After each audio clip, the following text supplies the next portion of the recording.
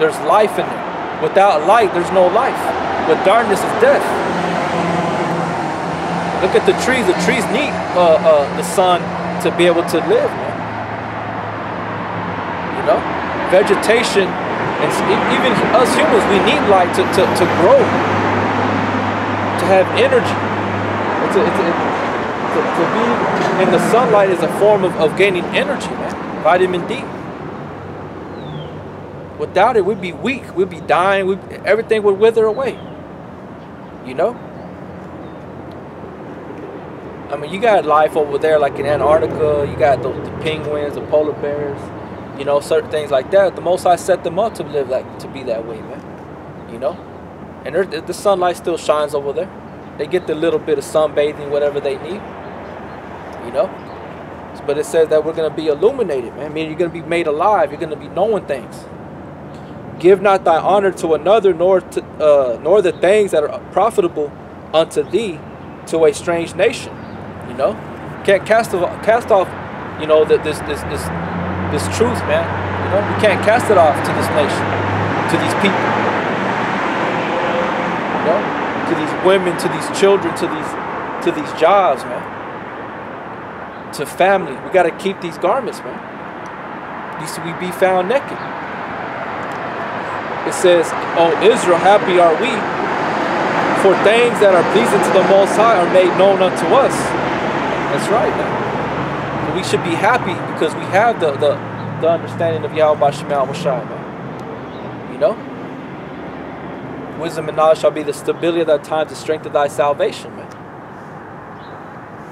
We may not be happy outwardly, you know, but mentally we know that we have something that that has um has weight to it, that has a promise to it. You know? Out here nothing's guaranteed, man. These vehicles, this, this, this, this the, the Federal Reserve note, the jobs, none of that is is, is, is, is, is sure, man. You know? They can get rid of you. They can do whatever they want. Your car will break down or they can repossess your car because you don't have the ability to pay your payment no more. You can get into a, a car accident and total your vehicle. And that's it. It's done. But this is that thing that, that nobody can take away from us. Only we as individuals can fail, man. And it will be stripped away. And none of us want that, man. We want to continue to, to defend the gospel, to preach the gospel. You know? All right. Get another one.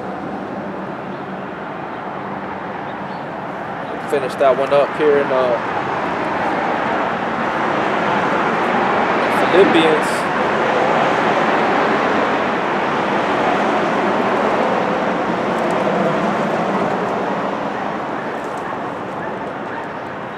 This is uh 1 Corinthians 9 and I'm gonna start at verse 13.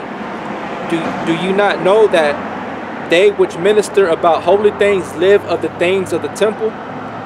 And they which wait at the altar are partakers with the altar? Even so hath the Lord ordained that they which pre preach the gospel should live of the gospel. Okay? So it, it, we have to live the gospel, man. We have to be walking and written epistles upon our heart, man. You know? But I have used none of these things, neither have I written these things that I should be so done unto me. For it were better for me to die than that any man should take my glory void. For though I preach the gospel, I have nothing to glory of. For necessity is laid upon me, yea, woe is unto me if I preach not the gospel. And the word preach goes back to the word prophesy because it's, same, it's the same meaning, man. You're preaching, you're heralding of, of, of future events, things to come to pass, man. You know? Or you're, you're correcting, you're rebuking, whatever the case may be, man. We're all speaking on behalf of prophecy. The law, statutes, and commandments, man. Of Yahweh Bashemal Bashar. We have nothing else here on this side, man. We have nothing here, man. I'm gonna read that again. Woe is unto me if I preach not the gospel. Okay? For if I do this thing willingly, I I have a reward. You see? We have to do this thing willingly and in love, man. You know? Not forced. Not not uh, uh somebody always holding your hand to do it. You know? You gotta be hungry, man. I'm gonna read, I'm gonna read this. It's a short script, but it's still a beautiful scripture, man. Because when you go into it, has you have to have uh, an ardent, an ardent spirit, man. Meaning that you have to be urged. You had to uh, uh, have a, an eagerness to to to to do this, to, to eat this roll. This is Matthew five and six. Blessed are they which do hunger and thirst after righteousness for they shall be filled. You know, you have to be hungry for this. You have to be on fire, man. You know, you have to be having a, a, a you know a zeal, hungry. That's a figure of speech, man. For ye shall be filled. And like I said, that love. We go over here to the. Uh,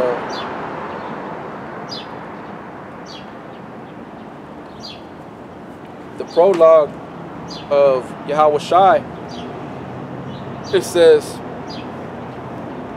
uh, Whereas many and great things have been delivered unto us by the law and the prophets, and by others that have followed their steps.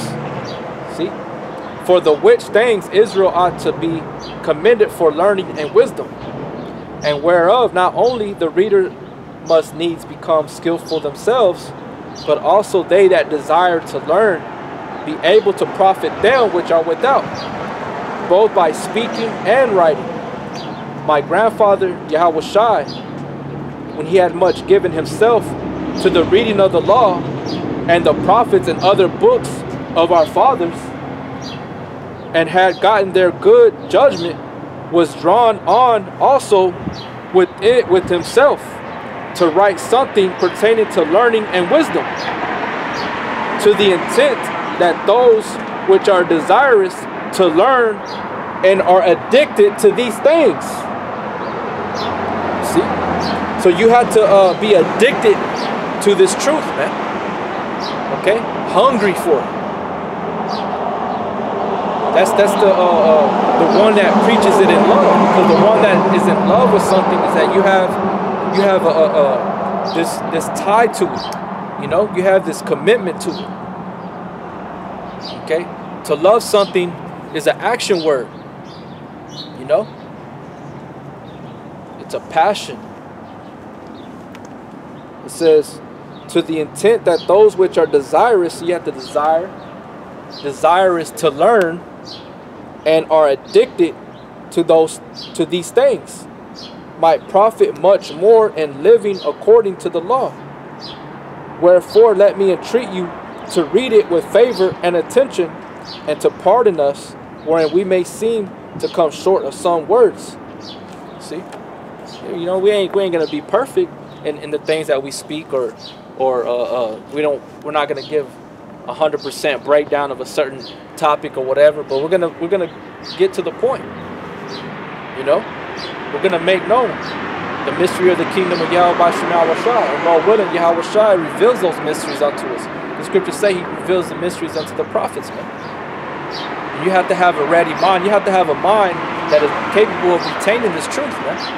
Because if you're living in constant wickedness and darkness, being in and darkness, to figure of speech, being in the world, you know, being up your woman's ass or, or always at your job and focus about making money, this this this truth ain't gonna re, uh, uh, uh, reside in you, man. It ain't gonna remain in you. Cause all you're thinking about is the world. You're thinking about, like I said, women, money. You know, your house, your car, your kids, your 401k, how good you can uh, get in with the uh, your manager. You know, being a brown noser all your life, Uncle Tom, Uncle Tomahawk. You got a lot of those out here, man. They're not focused on the scriptures. They're not serving Yahweh Bashem Yahweh They serve a white Jesus. Cesare Borgia, who they call Jesus Cristo. The same Jesus that put them in slavery, man. By the Spaniards, the conquistadores. Okay? That's who you serve. We don't serve that power, man. We serve Yahweh Shai, who he's a humble spirit, man. He's a meek spirit. And it say he said his burden is, is not is not heavy, his burden is light, man. But when he comes back, he's coming back not as a man, he's coming back as a, as a, as a, as a, uh, a force that is not to be reckoned with, man. Okay? And that's what we push. That's what we teach. Why? Because that's what the Bible says. It's not just all about being at peace with your neighbor. It's, it's, it's greater things than that. Because we have thousands upon thousands of people out here that believe in something that is not according to this prophecy. That's just part of it. You're just saying work no ill towards your neighbor. We know that. We practice that all the time. We don't cause no harm to nobody. We just read the Bible and let the Bible do its job, man. And the, the, the scripture is what cuts people, man. Bruises them, fucks them up mentally, spiritually. Like I said, this word is either going to make you or it's going to break you, man. That's all it's going to do. Right? I'm going to read this one again in 1 Corinthians 9 and 17. For if I do this thing willingly, I have a reward. But if against my will a dispensation of the gospel is committed unto me, then you're gonna have you're gonna have that that uh that part of management. You're gonna have a higher job, man. You're gonna have more bestowed upon you. What is what is my reward then?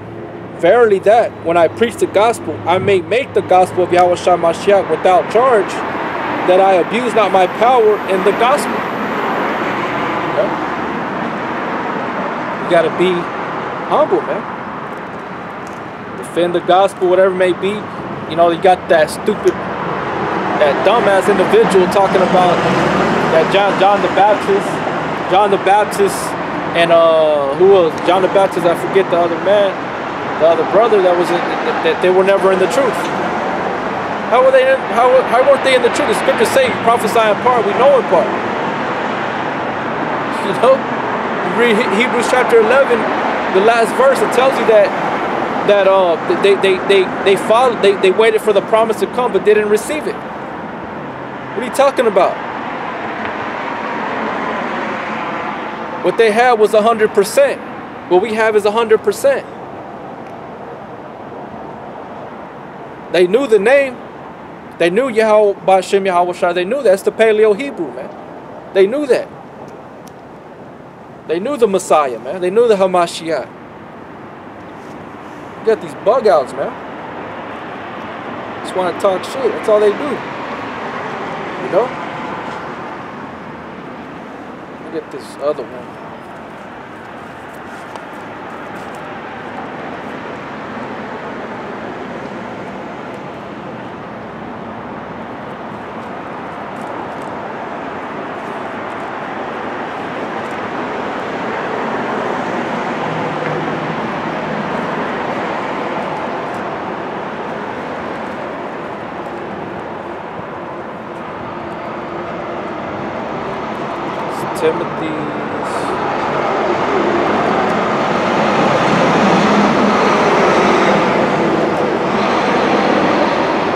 Second Timothy uh, chapter 2 verse 24 and the servant of the Lord must not strive but be gentle unto all men apt to teach patient in meekness instructing those that that oppose themselves. If God peradventure will give them repentance they, uh, to the acknowledging of the truth and that they may recover themselves out of the snare of the devil who are taken captive at, at, at his will, man. And how you taken captive at his will, man? By by uh uh being affiliated with the, with with the uh, the world what the world puts out, man. You know, covetousness, you know, idolatry, adultery, you know, idol worship. You know, you got a lot of people that worship these celebrities, musicians. You know, got a lot of stuff that goes on. That's how you, you you're taking that uh, you, you're taking captive at his will, man, because you submit to his his uh, his his dainties. You submit to his uh his trickeries, you know, his tricks. Right? Scriptures say we're not ignorant of Satan's devices, man. The elect are not ignorant to Satan's devices. They know when something is, is being trying to be put on them. When something is set there to, to distract them. A lot of these people don't, man. That's why we come out here telling them the things that everything here is evil. Everything's jacked up, man. The world lieth in wickedness, man. The whole world. And everybody's waxing worse and worse, man. Like I said, I'm a witness to this city. This city is straight fucking trash, man. I hate this goddamn city, man. I can't wait for Yahweh Shem Shah to destroy this place, man. To see this that, that look on those goddamn people's face, man. They're gonna have that, that stupid look on their face, you know what I mean? You know, you, you know, before they, they, they uh right right before that pain sets in, they when they get struck, they have that stupid look on their face. You know? All this is gonna go away, man. All the pride, all this shit's gonna go away, man. Cause that shit's hateful before you all Yahweh Shema Shah. And that's one of the biggest things. That's what it is, man. At the end of the day. You know? Matter of fact, let me break this one out first.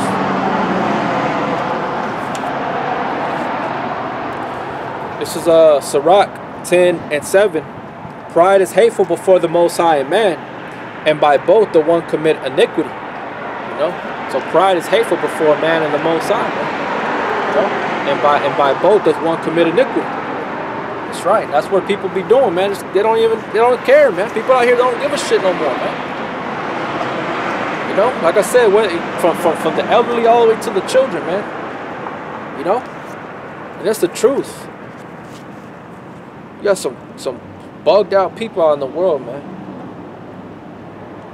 This is uh, Ezekiel chapter 9, verse 4. And the Lord said unto him, Go through the midst of the city, through the midst of Jerusalem, and set a mark upon the foreheads of the men that sigh and that cry for all the abominations that be done in the midst thereof. See? And that's what the angels of the Lord are doing. That's what we're doing too. You know? It says, And to the others he said in my hearing, Go ye after him through the city and smite. Let not your let not your eyes spare, neither have ye pity. Slay utterly old and young, both maids and little children, and women. Why? Because they're wicked, man. They're evil. They're fucked up. The Lord told us these things were to come, man. People are proud. People are, are, are into self-worship. You know? They're, they're, they're, they're, they're lovers of their own selves, man. They love hearing themselves talk. They don't give a shit about anybody else but themselves, man. Some of them will tell you straight up, too. You know, I had, you know, you know, we all know we had those those good friends we came up with, you know, in our junior high years, high school, in our twenties, mid twenties, thirties, you know, and then you know something happened to where you, you y'all stop talking, shit like that. You come back to uh, you know meeting them up, meeting up with them again. Well, there's one individual, man. You know, you know, he considered me like if I, you know, we were brothers and shit like that. I never said that, you know, because when I say shit, I mean it, you know what I mean? So I'm always watching people. I don't just go out there and say shit. I don't care how many times they tell me, oh, I love you. And, all right, that's cool, man. It's all good, you know? But uh, anyways, he, he, he ended up reaching out to me, you know, maybe a two, like a year ago. And he was, he was telling me, man, you know, I, I was like, hey, man, what's up? You know, we ran into, we ran into each other on the road, you know, we both stayed out there. He stayed out in Odessa. I stayed out in Midland. Came back to San Angelo. We ran, each other, we ran into each other on the highway coming this way, and uh, ended up, you know, we exchanged numbers. He called me. He was telling me shit about money, man. He was telling me that, hey, man, if you ain't about money, I don't fuck with you. I don't. It's, it's all about making money. And I just said, I just listened to him, and I was like, man, you know, so pretty much he was saying that it don't matter what type of friendship, or what type of person you were, or who you are. You could be a good person, but if you ain't about money, he ain't, he ain't with you. We ain't talking, you know? That's basically what he was uh, conveying to me. You know? Telling me about the shit that he has going on. I don't give a fuck about none of that shit, man. You know? But anyways, That just that was I mean that's one of many things, of many a small thing of many great things to show you to prove to you that um, how people are out here, man. Nobody gives a fuck. This is First Ezra, chapter four, verse um, thirty-seven. Wine is wicked, the king is wicked, women are wicked, all the children of men are wicked, and such are all their wicked works, and there is no truth in them, and their unrighteousness also they shall perish. As for the truth, it endureth and is always strong, it liveth and conquereth forevermore. With her there is no accepting of persons or rewards, but she doeth the things that are just, and refraineth from all unjust and wicked things, and all men do well like of her works. Neither in her judgment is any unrighteousness, and she is a strength. Kingdom, power, and majesty of all ages bless the power of truth. Yahweh Bashim Yahweh You see?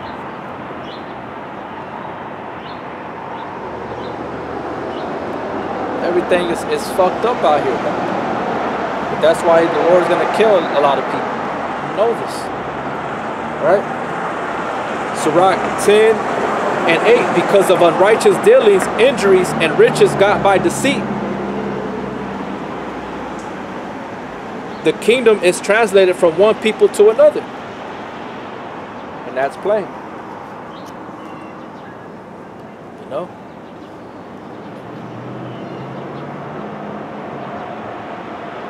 because of pride, man. It's being being rebellious, disobedient. You know, that's what that's what gets a lot of people killed, man. Because whenever you start having that stuff pushed into a city or whatever, that's when you start seeing a lot of uh, criminal activity increase, man. You know, because the Most High is raining down judgment here. Matter of fact, since I said that, let me bring it out here in the book of Second Ezra.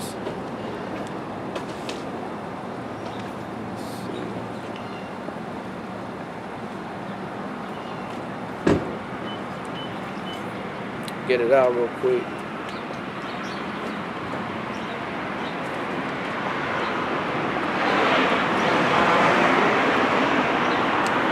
Second Ezra chapter 15, verse 18.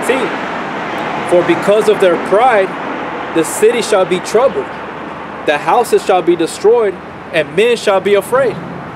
See? Because of pride, man. You got a lot of proud proud individuals here in San Angelo, man. All of America, the proud people, man. And then they're gonna get away from from from from having that type of spirit, that attitude, man. Thinking they're untouchable. You know? They can say whatever they want, they can act however they want. They can buddy up with with with the uh, managers or lawyers, court court uh, judges, sheriffs, that they're gonna get away from from the judgment, man, because of their injustice. You ain't gonna get away from that, man. The Most High sees and knows everything, man. Whether you want to believe it or not, everything's being in, in, in brought into fruition here before your eyes, man. None of you people can can explain why the things that are happening in the earth. You always have to resort to global warming and shit like that. No, this is prophecy, man. This is written in the in this what you call what you people call the Holy Bible, which is the Lashon Kodash, the Holy Tongue. Man okay? Or the uh, uh, man, the Holy Spirit. You know? People don't even know, man. There's a heavy judgment about to come, man. And it's it's slowly but surely coming. All right? It says, 2nd Ezra 15 and 19, A man shall have no pity upon his neighbor, but shall destroy their houses with the sword and spoil their goods because of the lack of bread and for great tribulation. Okay? And that's what's coming, man. Second Ezra chapter 16, uh, verse 35. Hear now these things and understand them, ye servants of Yahweh. Behold, the word of Yahweh receive it. Believe not the gods of whom Yahweh spake. Behold, the plagues draw nigh, and are not slack. Right. So the plagues are drawn nigh, man. Okay? That's why, like I said, death, death is a is a plague. Okay?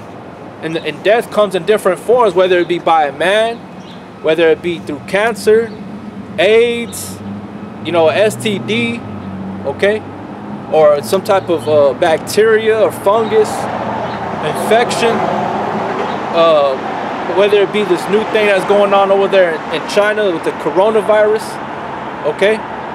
These are plagues that are being sent to appease the wrath of Yahweh Bashem Shai. And it's not going to be enough. It's not enough. Because these are the beginning of sorrows, man. Okay? Just like when Moses when, uh, delivered the Israelites through, the spirit of Yahweh Bashem what, he sent out 10 plagues and destroyed the Egyptians, man. 10 plagues were sent out and they destroyed the Egyptians. Until Pharaoh was finally, when he took away the firstborn, right? Let, let the Israelites go, man. That's what's happening to America all over the earth. Them same plagues are being pushed out, man. People think it's a joke, man. That's fine. You know, we're, we're only out here for, scriptures say, seek out your own salvation with fear and trembling, man. And to feed the, feed the flock.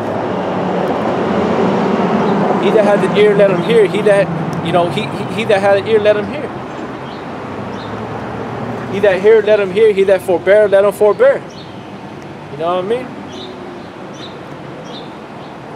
And we don't, we know that only the elect are going to hear. They're going to listen. Everybody else is going to uh, reject this word. Man. That's why they're going to get caught outside in the cold, man. You know?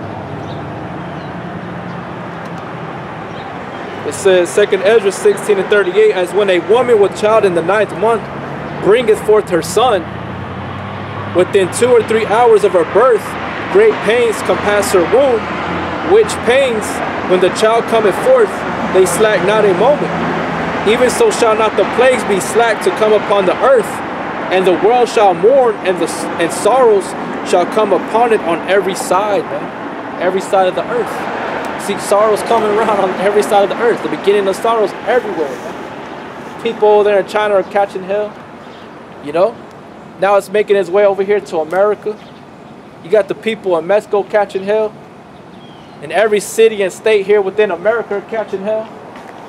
You know? Why? Because of because of the pride, man. Because of great pride within this place. That's why these people are bugging out. You know? on every side, on every side is where these plagues are going around, man.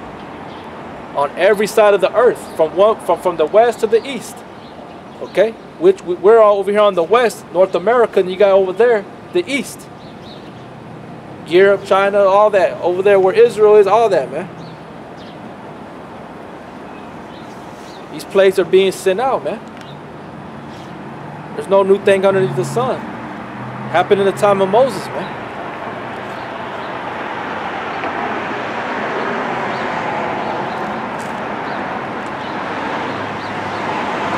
This is Jeremiah 15 and 2, and it shall come to pass if they say unto thee, Whither shall we go forth? Then thou shalt tell them, Thus saith the Lord, such as are for the death to death, and such as for the sword to the sword, and such as are for famine to the famine, and such as are for the captivity to captivity. And I will appoint over them four kinds, saith Yahweh the sword to slay, the dogs to tear, and the fowls of heaven, and the beasts of the earth to devour and destroy, man. You know? That's what it is.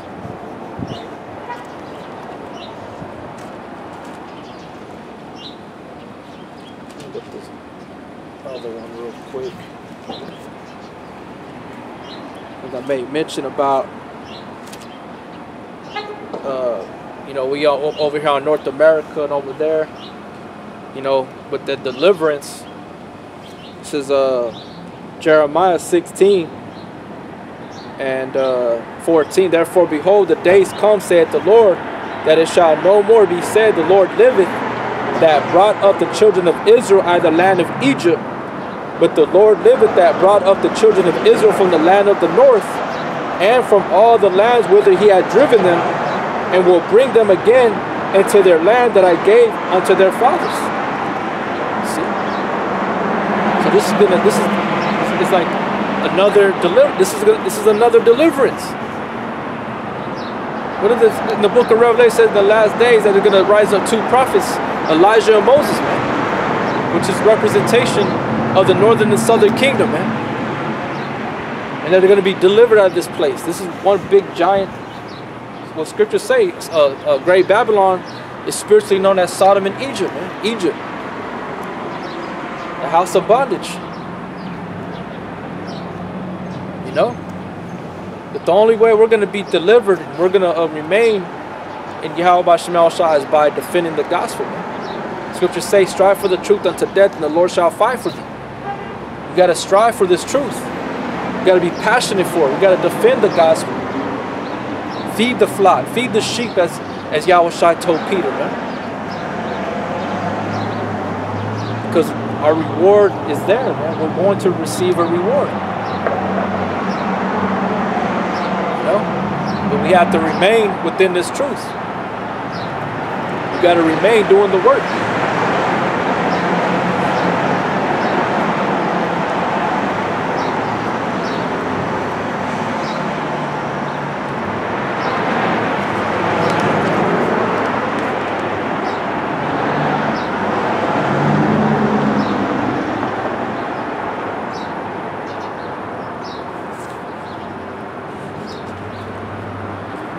Second Esdras. Uh, Second Ezra seven and nineteen, and he said unto me, There is no judge above the most. Well, I'll start at verse twenty. For there be many that perish in this life because they despise the law of the Most High that is set before them. Uh, for Yahweh hath given straight commandment to such as came what they should do to live, even as they came and what they should do to observe to avoid punishment. See? Because these things that are, come, are coming to the earth, that are here in the earth, even though just being here in the condition that we're in, is a punishment. Right? Because he told us what we should do to avoid these things, man. In the book of Deuteronomy 28.